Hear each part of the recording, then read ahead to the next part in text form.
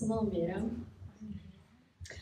A neviem, ako by som začala, akože som vďačná, že, nás, že ste nás sem pozvali, akože skutočne, ale musím povedať, že sme nehodní, fakt, že skutočne sme nehodní nejak svedčiť svedectvo, ale dneska, keď som počúvala tú kázeň, že skutočne, že nie je to o nás, ale ide o to, že ísť za hranice ľudských možností, že skutočne všetko je na Božiu chválu a slávu, čo sa udialo v našom živote. A že, že máme toľko detí a že sme spolu, to je jedine, že Božia milosť, že je nad nami. A, neviem, či by som začala možno tým, že ako sme sa vlastne zoznamili. To je, tak, to je tiež také čarovné, že v podstate ja som, pochádzam z východu, som vyrastala v kresťanskej rodine a prišla som do Bratislavy a, a stretla som som Romana a v podstate takto nás Boh dal dokopy, že on však bude hovoriť o sebe, či ako vyrastal, vyrastal bez viery v Bratislave, že proste takto Boh dal dokopy, že takí dvaja ľudia, ktorí svoj, že on v podstate nechodil do kostola, vyrastal bez otca, možno vymetal bary a tak, a že my dvaja sme sa dali dokopy a svojimi ideálmi a moralistickými predstavami o vzťahu sme sa našťastie dostali do spoločenstva, ktoré nás zachránilo a ktoré nám aj pomáha akože vytrvať v manželstve aj a znova ako objavovať tú lásku nás.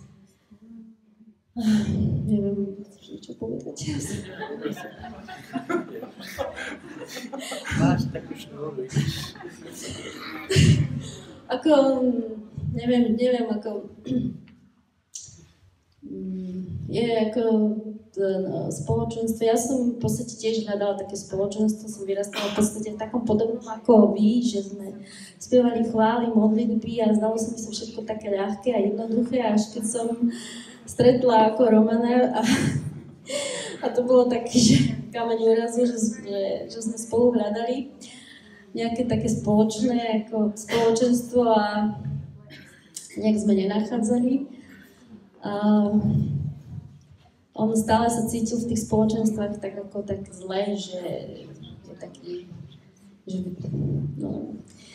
Nechcem o ňom hovoriť, bude asi sám ho, o svojom živote hovoriť, ale on ma pozval do nášho spoločenstva, kde počul jednu vec, že Boh ho miluje ako hriešnika, že on vie o ňom všetko a že práve preto ho miluje a preto prišiel na tento svet, aby, aby, aby nás zachránil, aby zachránil jeho aj mňa a v podstate zachraňuje stále a že on dovolil v našom živote, že máme toľko detí, koľko máme a že že sme stále spolu. Akorát som si spomenula na dnešnú nedelu, aké to bolo hrozné. Akože ráno sme sa všetci pohádali, potom sme sa udobrili, potom sme chceli vyhodiť e, dceru z domu, lebo... že, že skutočne, že nie sme nejaký vzor ideálny, nejaký sladký manželia, ale u nás je to uh, stále v takom napätí talianskom ale viem jedno, že Boh má, má, má rád takú, ako som, že má rád naše deti také, aké sú a že, že to nič není náhoda, že, že, že dal dokopy takých dvoch ľudí a že dovolil aj v našom živote mať toľko detí napriek tomu, že si myslím, že sú lepší, lepší manželia, ideálnejší, ktorí sa majú radšej, ale že, že je to proste Boží jeden zázrak a že máme aj ako dávnika, tak postihnutého, že, že napriek tomu, že som strašne plakala, keď sa narodil, ale že vidím, že je pre nás veľkým darom, že aj keď u nás je také napätie a že, že sa hádame, že ten ako človečik, ktorý príde a začne objímať tých, ktorí, ktorí to najviac potrebujú, že, že nás má rád, taký malý, ako, že má nás rád takých, akých sme, že, že nesúdi a že, že skutočne príde vždy v pravý čas a že, že on prišiel do našej rodiny, aby, aby nás milovala, že aby to napätie, tá, tá nervozita alebo všetky tie naše predstavy a nároky, aby zmizli, že a, neviem,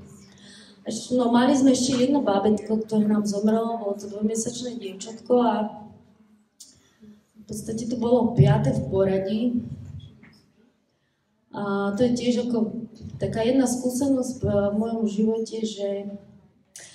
a jedna vec je istá, že mne lekári povedali, že nebudem mať deti. A teraz... a ja som sa, akože išli sme do manželstva s, to, s, to, s tým, že keď nie, tak si adaptujeme že sme boli s tým akože taký, nie zmierení, ale s takou ako, nie, nie, sme to neriešili, čiže skutočne ja, keď e, každé jedno dieťa berem ako je veľký dar, alebo ako veľký zázrak Boží. A tak uh, nie, že by som nemala s tým problém, keď prichádzali tie deti, že jeden za druhým a už mi to akože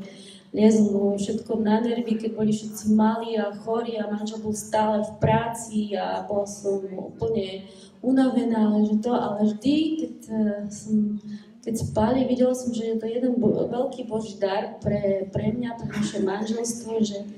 keby som možno mala menej, že nie, nie sme spolu, že si to viem zabezpečiť alebo tak. Aj to, že sme ako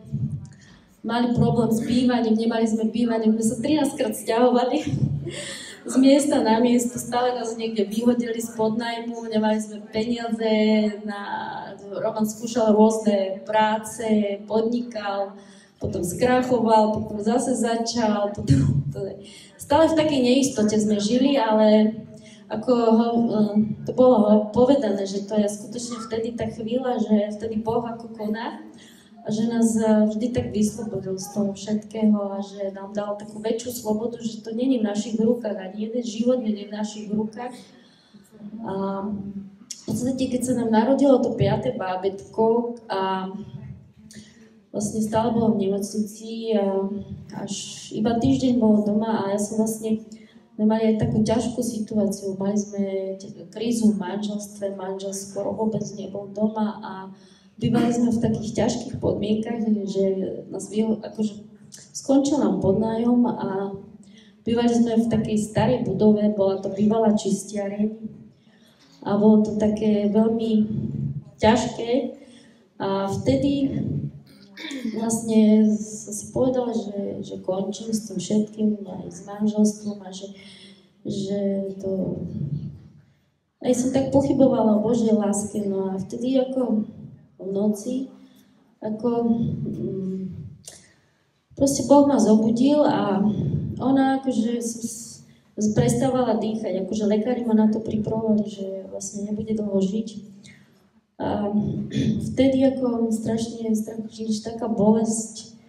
aj taký, taká hysteria, chcela som niekomu zavolať, aby mi pomohol, bola som sama s tými všetkými deťmi. A strašný strach, že, čo sa, že toto Roman bol na služobnej ceste a vtedy ako strašne som začala plakať, že Prepačte, to sú len emócie, vlastne podstate to sú jej, bolo to ako, že teraz vidím, že to bola taká Božia milosť, že, že strašne som začala plakať, že, že čo, prečo Bože, prečo, že aj deti sa zobudili a, a vtedy som, vtedy ako som pocitila tú Božiu milosť, že,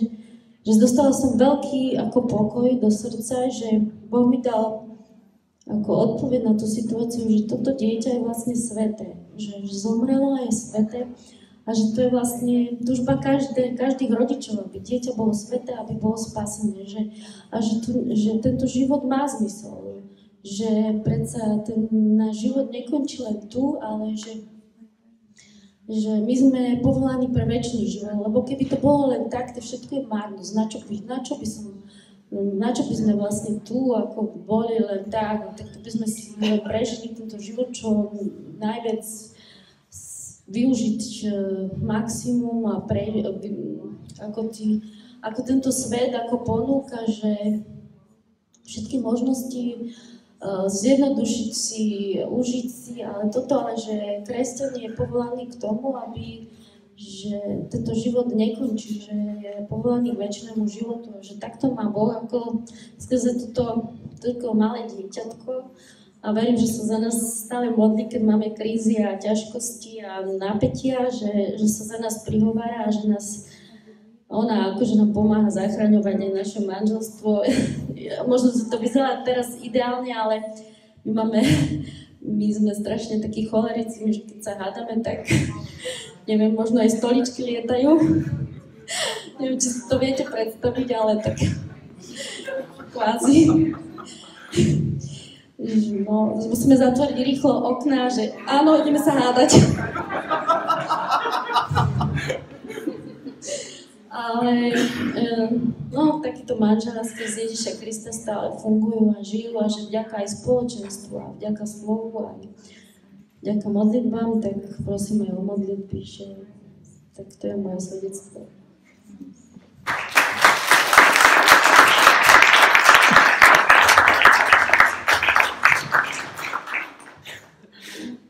Ťažko sa preberáš štafetu.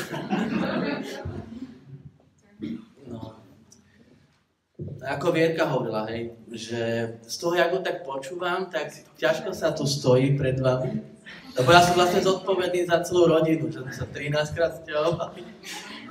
lebo ja som hlava rodiny. Ale takto to skutočne je a vidím to také, také ako naše dejiny, ako, aby som tak vám to trošku tak Eh, to, čo Vierka hovorila skutočne, že vyrastal som, že sa naši rozviedli. Otec pil a to bola veľká kríza a oni pochádzajú z Terchovej, akože to len tak príklad, že taký ťažký život a oni ten život si nesú so sebou, to ako keby také v našich rodinách, aj z maminej strany, aj to, že oni tak ťažko robili, potom akože aj to pili, tak akože taký, taký taký roboši, proste není to nejaká taká vysoká inteligencia, ale proste toto zdedil aj môj otec a ja som v takejto domácnosti vyrastal, kde ešte za komunistov naložené požičky a tak, že naši tiež tak ťažko žili a často sa hádavali. A až tak, že vlastne naši sa rozviedli, lebo mama nevidela cestu a nevidel som ani ja cestu, že ak má takéhoto otca, tak radšej žiadneho. Až tak, že sme otca vyštvali a proste mne strašne chýbala taká pevná otcovská ruka, preto ako Vierka hovorí, že skutočne som pomaličky tak odpadal aj od Boha. V nedelu na Svete Omši som akože to už nebol pre mňa ťažký hriech a takýmto životom som žil a vlastne tu v Bratislave sme sa tak ponevierali, tie víkendy sme tak, dá sa povedať, prežurovali, milé som tiež tak spomínali sme, že zrovna v ten večer, keď sme sa zoznámili, že to bolo taký boží prst, lebo uh, moja mama išla na púd do Litmanovej a že, kto, že kde bude nejaká žúrka, že ja mám doma voľný byt, takže zrovna u nás mama na puti v Litmanovej a u nás žúrka cez víkend všetci kamoši a tak a išli sme na diskotéku s chalami a jediný, kto nepil, bol šofer, ne? A keďže bola žúrka u nás, tak ja som zrovna, na mňa vyšlo šoferovanie, aby mi nezdemolovali byt, aby sa mama kam mala vrátiť. Takže my sme na tej diskotéke sme sa všetci tak rozviezli, chalani a každý, že nejakú tú známosť, aby si našiel na ten večer, skutočne len na ten večer, že proste taký život som viedol, taký plítky a Teraz, keď som zbadal tam Vierku, tak ešte som mu vtedy sme sa nepoznali, nie? A tak mi padla do oka, že no, dobre. Ale ma ignorovala, nemal som šancu evidentne zo začiatku. Ale tak, aby som to skrátil, nech tu nie sme do večera. Nakoniec sme išli, že či ich odvezieme. Oni boli sestrička, sa mi predstavila, že je sestrička z východu, že robí zdravotnú sestru Vrajím, no teda fajn, že či ich odvezieme domov. Tak sa ponúkli, že jasné, bez problémov. A my sme išli smerom na Dunajskú Lužnu, oni bývali v centre a je sa tak nezdalo, že nejak domov ubúda a že aj tie lampy pouličné riednú, že tak to sa asi nejde k ním. A ja hovorím, že neboj sa, my tak zastavíme na chvíľu, babi, sa trošku zabavíme a potom vás ešte odvezieme domov. A v Dunajskej Lužnej bývala už tedy aj sestra, ona bola, tam boli akože reholné sestričky, neviem, či poznáte niekto, v Dunajskej Lužnej bol taký rehabilitačný, taký ústav. No a jej sestra to bola pre mňa taká z chorusu, spievala tam vždycky pri orgáne, švagor môj teraz, čo sú akože to sme mysleli, že furt bude kniaz a teraz keď Vierka vystúpila a hovorí, že toto tu poznám, pre jak to tu môžeš poznať, keď si z východu, že tu mi býva sestra, že kde, že tuto ten vedľajší dom. jak som fajče, tak mi vypadá cigareta. a ja hovorím, no tak fajn, tak toto bude večer. A ja fakt triezvy večer takú náboženskú tematiku som ťahal, ani som nevedel, že celý katechizmus sme obrátili. Od... Potom sme ich išli od, od domov. Moja mama prišla o deň skôr z Lintmanovej. My sme odvážali sestričky tam boli chalani doma jedného budí, že pane, čo tu robíte? Ona hovorí, ja, a čo vy tu robíte? som došiel domov, mama napálená, kamož už zdrkol tam kopec. A ja hovorím, mama, nebudeš veriť. Ja som tedy nemal nejakú známosť, nič, takže mama tak viem, že preto trpela. Hovorím, mama, nebudeš veriť, koho som spoznal, že Maginu sestru, že Vierku, neviem, či si pamätáš ty. Ja tam mi vtedy odpustila všetko. Mama mi nedala pokoj, že kedy ju dojdem predstaviť a ja hovorím, áno, áno, tak išli dní, plynul čas a mama mi hovorí, bol si už za ňou, vrem, áno, ale vieš čo, nestihol som, nebola službu ma, vykrúcal som sa z toho neskutočne, prešiel mesiac, mama nešťastná. A potom sme sa stretli a život sa mi zmenil. Začal som svetiť nedelu.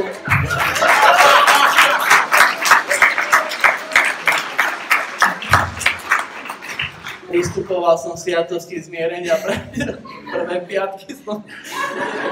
Ale nie, že teraz tak zjednodušene, hej, aby som to odľahčil, ale skutočne, že toto všetko, čo sme prežili, je pravda, že ona ma priviedla tiež do, do Fokoláre, chodila jej sestra, a ja som sa strašne hámbil, ja som sa bál za svoj život, lebo tam boli všetko takí pekní ľudia, všetko také nádherné a ja s mojou históriou, ja som sa strašne bál celý ten čas, čo sme tam chodili, ja som sa bál, či ma náhodou niekto nepozná, či nepozná niekto moju minulosť, že ma tam vykričia, to nemôžem ja tu mať. A tesne na to bolo také, že boli tiež akože jedno spoločenstvo, boli katechézy a tam bolo povedané, že tam bolo také pozvanie bolo od spolužiaka, ktorý mal podobnú históriu bez oca, úplne to isté, autentické a pozval ma, že počujem ma, že sú tu také katechézy, a že, jak som tam prišiel, že a ty si tam koľko, že už rok, no ty keď si tu rok, tak to už musí byť nejaké dobré, nie akože zaujímavé. A ja som tam počul na tom prvom stretnutí, že Boh ťa miluje takého, aký si, hriešnik, darebák taký. A ja hovorím, panečku, že tak aj darebáci môžu dojsť do nebeského kráľovstva, keď sa obratia. Videl som, že zmysel má to obratenie, že Predtým som ako keby necítil tú potrebu ten život až tak zmeniť, že žil som v tej svojej takej tej špine, válal som sa proste ako špine hriechu, myslím, nie, že hygienu som dodržiaval. v tom, v tom duchovne som myslel, a že na to, že mi dal takú vierku, pevnú vo viere, 4 roky manželskej prípravy to bolo že sa dá vydržať predmanželská čistosť. to vďaka nej, že skutočne ona prišla s takými tvrdými tými zásadami a to mi dávalo zmysel všetko, že a vidím to aj tak, že na tejto, v tom spoločenstve, kde žijeme, že skutočne nám to zachránilo život, lebo, lebo dneska vyrastajú mne deti, ktoré sú ktoré majú podobné problémy, že vlastne ich otec není dokonalý, oni vedia, že nemajú dokonalých rodičov, ale skutočne, že vidia na nás, že si vieme odpúšťať. A zmysel toho odpúšťať si v manželstve nedáva to, že som ja taký dobrý, ale tie deti. Že, kdežto predtým som si vôbec neuvedomal, ako deti dokážu, strašne nás opakujú. Ale to je, to je kopírak. To je skutočne jej postoj, môj postoj a tie postoje, ako my k sebe sa správame, tak tie deti medzi sebou. A ja im môžem tak moralizovať, ako sa to správaš, čo si mu to povedal. A oni všetko hovoria na nás, ako my si navzájom. A to je, oni keď vidia, že my si vieme odpúšťať, tak dáva to zmysel aj pre nich. A ja som si tak vzdychol pred mojou mamou nedávno, že ja mama, ten Jakub, ten má 18 rokov, preč bude mať 19. Aj mama, ten Jakub, to je kríž. Ona hovorí, Roman, čo som si ja v tvojej 19 s tebou užila, to bolo to som bol ešte slobodný, že čo som si ja už užila s tebou, keď si mal ty 19, že ty ďakuj Bohu, že máš také deti, ako máš. A skutočne je to dar od Boha, lebo aj to, čo hovorila dneska Vierka, že s tou Maruškou sme sa, ona je taký rebel, proste má svoju predstavu a, a je to taká naša kopia a skutočne už som si nevedel s ňou rady, až som sa napálil, keď sa ti nepáči, tak sa zbála, môžeš odísť, nie? Ale potom som si uvedomil, ona išla do kostola, vrátila sa, aj ona už bola pokornejšia, aj ona už povolila, lebo má 9 detí a keď vám všetci začnú svoju tú pesničku, čo chcú, tak to je, máte problém to, koho počúvať odrazu, koho skôr, ten chce to, ten chce tamto a to ráno, keď sme všetci v jednej kuchyni, tak to je akože... A na to tí najstarší. A to, že odišla, som si uvedomil, že ja tu mám stáť teraz pred vami po obede a rozprávať a mne, ja si neviem so svojou dcerou, ale videl som taký zmysel toho, že sme sa vedeli porozprávať, že sme si vedeli odpustiť. Ja hovorím, Mari, ako ja tu mám prísť pred tých ľudí, keď ani s tebou si neviem rady, ako, čo tu mám stať, čo tým ľuďom mám povedať, že som si musel dceru vyhodiť, ktorá nevedela si nájsť vzťah k otcovi. Ale videl som na tom ten zmysel toho, že tá Mária si tiež uvedomila, ona, keby ste videli, ten jej postoj, to je to, že vlastne, ja aj hovorím, Maria, keď ty toto robíš, tie malé deti ťa opakujú. To potom tá mama, keď je tu, keď ja nie, keď som v robote alebo čo, uvedomuje si tú zodpovednosť, ako tie deti sa správajú k tej mame. A keby ste videli, akože to, to ticho sa dalo vtedy kráť, keď som sa s ňou rozprával, že žiadna taká rebelia, ale keď si uvedomila tú zodpovednosť voči tým súrodencom svojim, tu je aj pani učiteľka spevu, že Mariaška je taký poplach poplašený, že možno ani nie je taká, ale na ňu treba obrovskú trpezlivosť, lebo to je, ona má svoj svet, svoje kvetinky, svoje tieto, ale v tej chvíli, že skutočne teraz sú, majú tých menších na starosti, že Vidím to, že nie som tu nejak zo svojich zásluh, ale len svedectvo o tom, že skutočne Boh miluje hriešnika. Keď sa hriešnik obráti, že ako aj svätý Otec povedal, že sme omilostení hriešnici, či ako, tak toto, tohto svedectvo sme tu my v prvom rade. Nie nejaký dobrý rodič, ale to, že Boh nás miluje takých, akí sme a dáva nám šancu na to obrátenie aj pred tými deťmi, aby raz oni vychovali si svoje deti, že odozdať im tú vieru, že keď sme im dávali krst, keď sa pýta, čo chcete im odozdať, že krst, čo chcete pre svoje deti, krst, to bola taká formulka ešte zo začiatku pri tých prvých, ale od dieťaťa k dieťaťu, ak tie deti rastú, jak ich vlastne prežívame tie krízy, tie pády, že skutočne odozdať im tú vieru je veľmi dôležité. A toto akože, toto v prvom rade tu chcem povedať, že je to veľká zodpovednosť, ale veľká radosť, že keď sme sa dneska učili, po obede sme boli v že ideme sem, tak taká radosť, že mám takú rodinu, aj je to, je to dynamika. No.